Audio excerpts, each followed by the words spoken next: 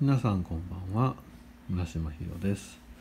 えっと今日はちょっともう眠たいモードになっててまああのちょっと副交感神経があの優位に立ってきたっていう感じであのまあちょっとこうぼやっという感じでますますあのゆりかご配信になってしまうんでないかと思うんですけどって感じでですね。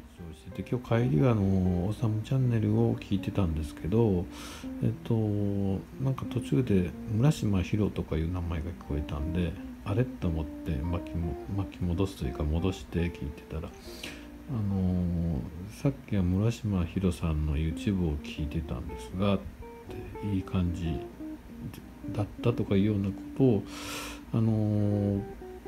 おさむちゃんが言われたのをあの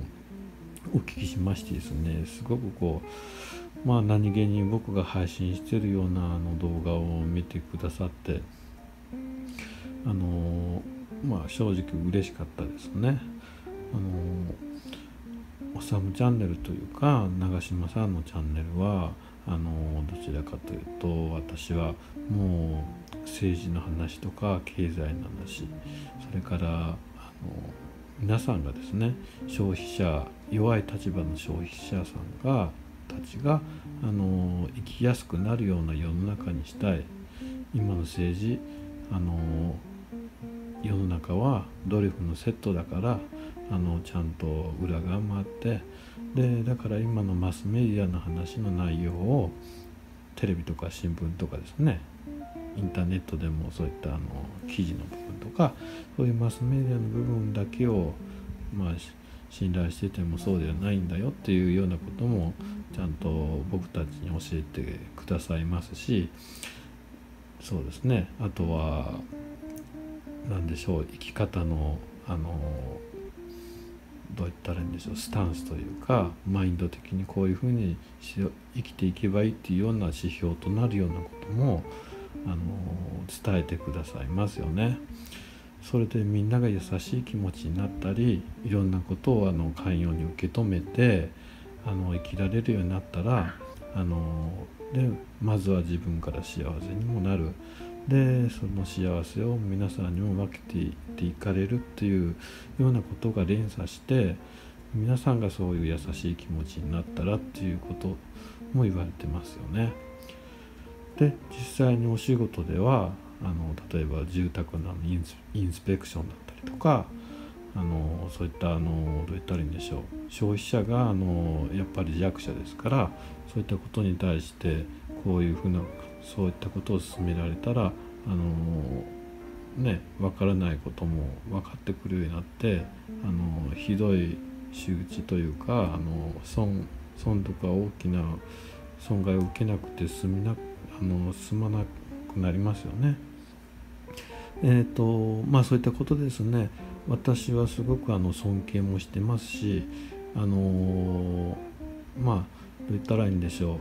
それを仕事にされててあの世間にも発信もされててということでものすごく尊敬もしてますしあとあの人柄みたいなところも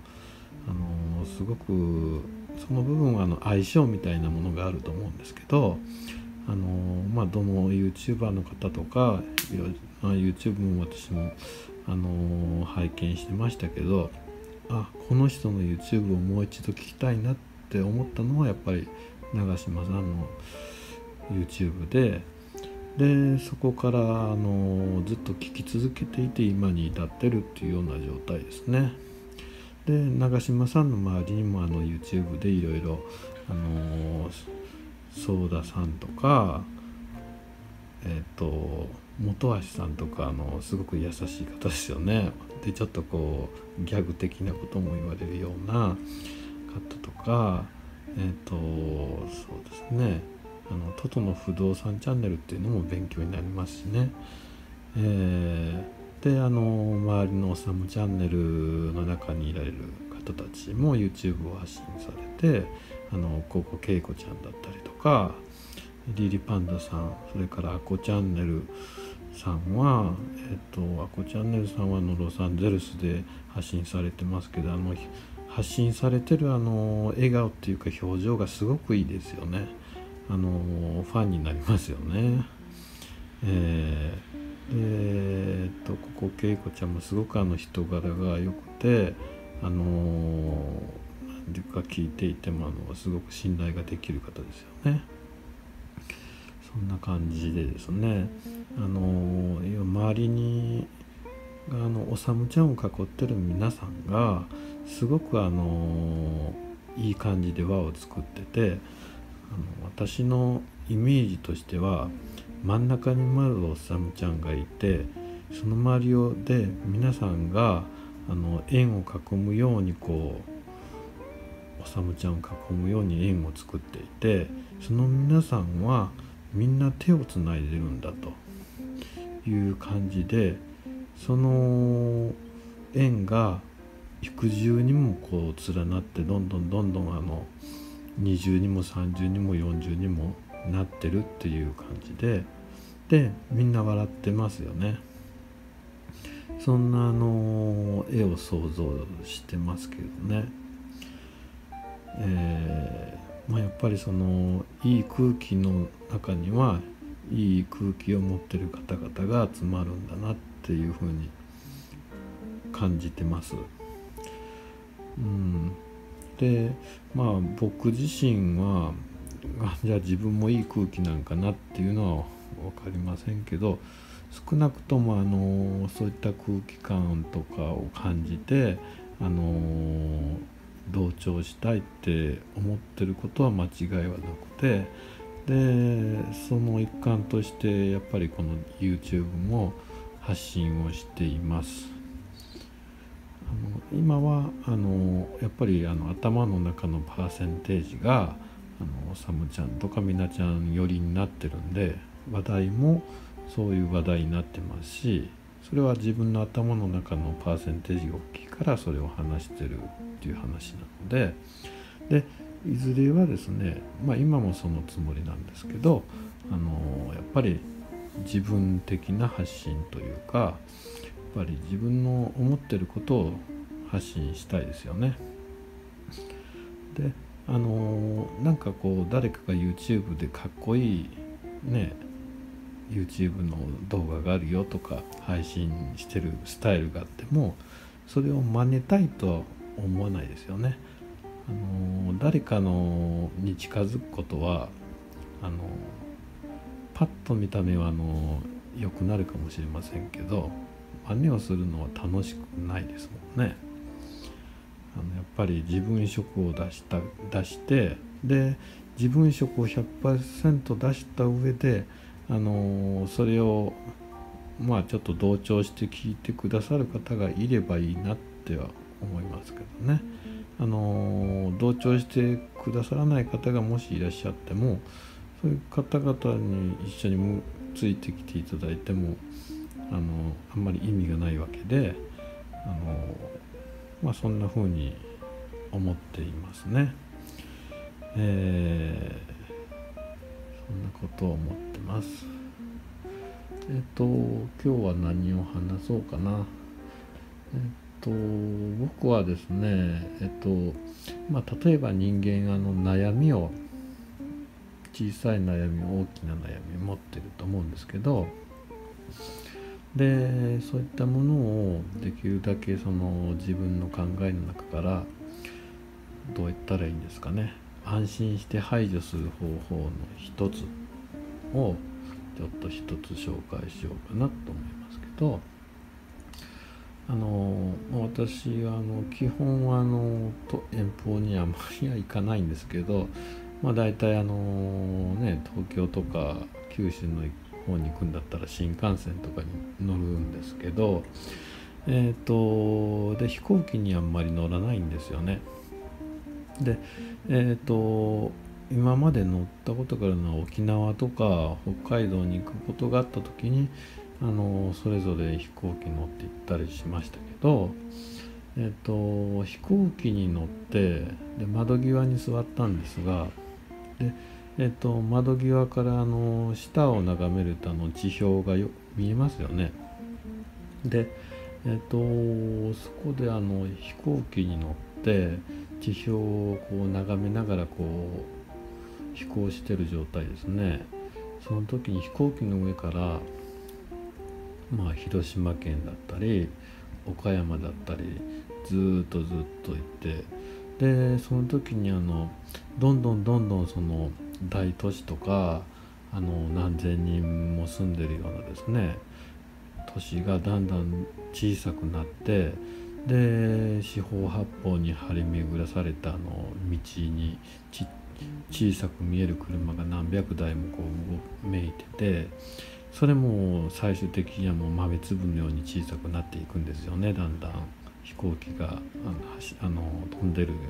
位置が高いからですねだからそのちっちゃくなって一目で見える街の中に何千人も住んでるわけじゃないですか何万人も。でその人々の数だけ悩みとか苦しみとかもあるんだなってそれ人それぞれが持ってるんですよね。でなんかだんだんそういうことを感じるとなんかその一人一人のそんなことを考えてることってバカバカしいなってなんか飛行機の上からふとこう素直に感じれたんですよね。だからあの人一人がその考えてるその悩みとかそんなこともバカバカしいじゃないかって。どうせだったら大地を揺るがすぐらいこう大げさなぐらいで何か一人ぐらいの力でやってもいいんじゃないかって、ね、人一人でやれることなんか知れてるじゃないですか。だったら精一杯何でもやってみてもいいんじゃないかなっていうふうになんかこう悟ったんですよね。いうふうにですねだからあんまりあの保守的にならずにいろんなことを自分の思う存分にやったらやるぐらいでやっとちょうどいいぐらいじゃないですかねそういうふうに私はあの感じたんですけどねやっ